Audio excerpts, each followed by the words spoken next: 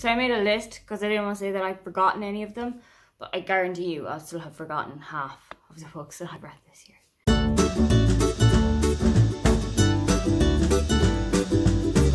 Hi, welcome, come on in. My name is Aoife and today I'm going to take you through all of the prompts that I have ticked off in the Pop Sugar 2020 Reading Challenge so far.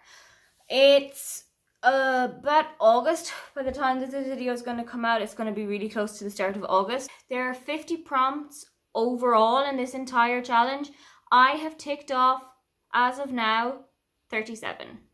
That's the highest that I've ever done across any year. Not just at this stage of the year, but overall. So let's go through all of them that I have done so far.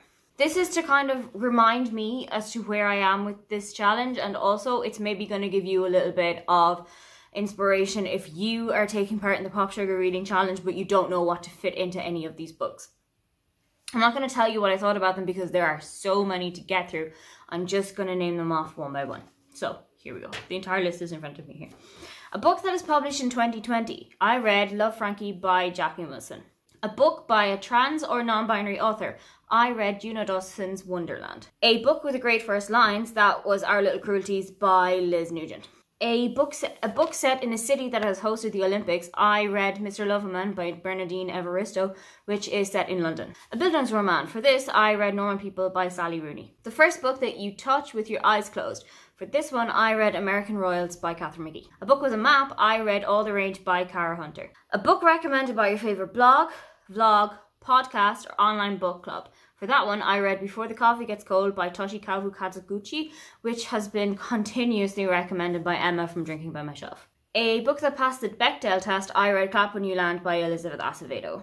A book by an author with flora or fauna in their name, I read Holly Bourne's What Magic Is This? A book published in the month of your birthday, I read Call It What You Want by Brigid Kemmerer, which is published in June of 2000 and I think 19. A book by or about a woman in STEM, I read The Kiss Quotient by Helen Hoang. A book that won an award in 2019, for this I read The Unhoneymooners by Christina Lauren. A book on a subject that you know nothing about, I read If I Had Your Face by Frances Cha. A book with only words on the cover, no images, no graphics, for this I read Everything I Know About Love by Dolly Alderton. A book with a pun in the title, I read Naturally Tan by Tan France. A book featuring one of the seven deadly sins, I went completely rogue and read one with all seven. That was Charlie and the Chocolate Factory by Roald Dahl.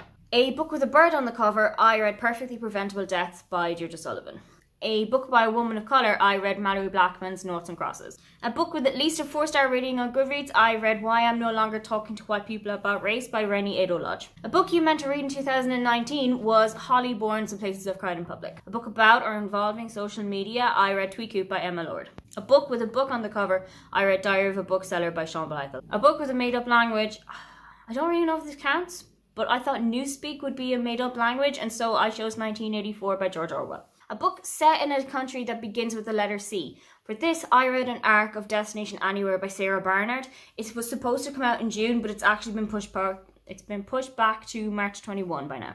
A book with a three-word title I read In Five Years by Rebecca Serle. A book with a pink cover I read Royals by Rachel Hawkins. A book by or about a journalist I read Between the Stops by Sandi Toksvig think she's a journalist. Your favourite prompt from a previous Pop Sugar reading challenge. For this one, I read Get a Life Chloe Brown by Talia Hibbert because it has a cat on the cover. And so now the advanced prompts. I've read everything except for one, two, three of these prompts. A book written by an author in their 20s, I read Anseo by Úna-Minh Kavanagh. A book with a character who has a visual impairment or uses like a visual aid. This is a nod to 2020 vision. For that, I read Secrets by Jacqueline Wilson. One of the characters were glasses. A book written by an author who has written more than 20 books. I read No Judgments by Meg Cabot. A book with more than 20 letters in its title. For this one, I read Beautiful Broken Things by Sarah Barnard. A book published in the 20th century, I read The Magician's Nephew by C.S. Lewis. A book from a series with more than 20 books. For this one, I read Stacey and the Mystery of Stoneybrook by Anna Martin. It is the 31st book in the Babysitters Club series.